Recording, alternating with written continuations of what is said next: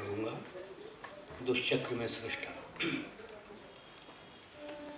कमाल है तुम्हारी कारीगरी का भगवान। क्या क्या बना दिया? बना दिया क्या से क्या? छिपकली को ही ले लो। कैसे पुरखों की बेटी? छत पर उल्टा सरपट भागती छलती तुम्हारे ही बनाए अटूट नियम को। फिर वे पहाड़। क्या क्या थपोड़ कर नहीं बनाया गया उन्हें? और बगैर बिजली के चालू कर दी उनसे जो नदियाँ, वो? सूंड हाथी को भी दी और चींटी को भी। एक ही सी कार आमद अपनी अपनी जगह। हाँ हाथी की सून में दो छेद भी हैं अलग से। शायद शोभा के वास्ते, वरना सांस तो कहीं से भी ली जा सकती थी, जैसे मछलियाँ ही ले लेती हैं गलफड़ों से। अरे, कुत्ते की उस पतली गुलाबी जीभ का ही क्या कहना? कैसी रसीली और चिकनी टपकदार, सृष्टि के हर स्वाद की मर्मज्ञ। और दुम की तो बात ही अलग। गोया एक अदृश्य पंखे की मूठ तुम्हारे ही मुखड़े पर झलती हुई। आदमी बनाया। बनाया अतड़ियों और रसायनों का कैसा ये तंत्र जाल आदमी बनाया बनाया अतड़ियों और रसायनों का क्या ही तंत्र जान। और उसे दे दिया कैसा अलग सा दिमाग। ऊपर बताई हर चीज़ को आत्मसात करने वाला। पल भर में पूरे ब्रह्मांड के आर पार। और सोया? तो बस सोया।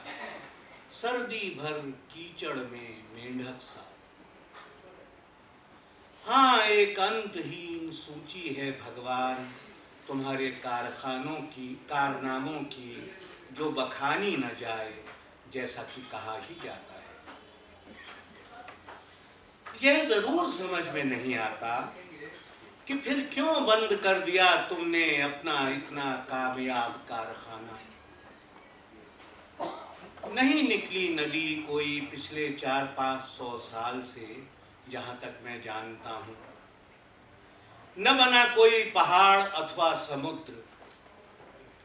एकाध ज्वालामुखी ज़रूर फूटते दिखाई दे जाते हैं कभी कभार बाढ़ें तो आई खैर भरपूर, काफ़ी भूकंप, तूफ़ान।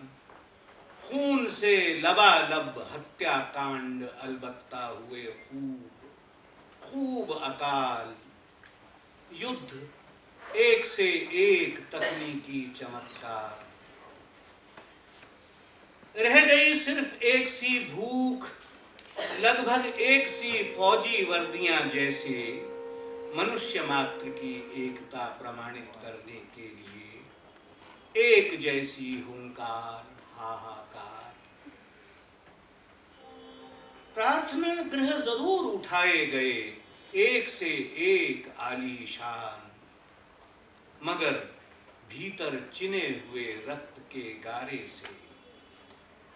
वे खोखले आत्माहीन शिखर, गुंबद मीनार, उंगली से छूते ही जिन्हें रिस आता है खून। आखिर यह किनके हाथों सौंप दिया है ईश्वर? तुमने अपना इतना बड़ा कारोबार अपना कारखाना बंद करके किस घोंसले में जा छिपे हो भगवान? कौन सा है आखिर वह सातवां आसमान? हे अरे अबे ओ करुणा निधान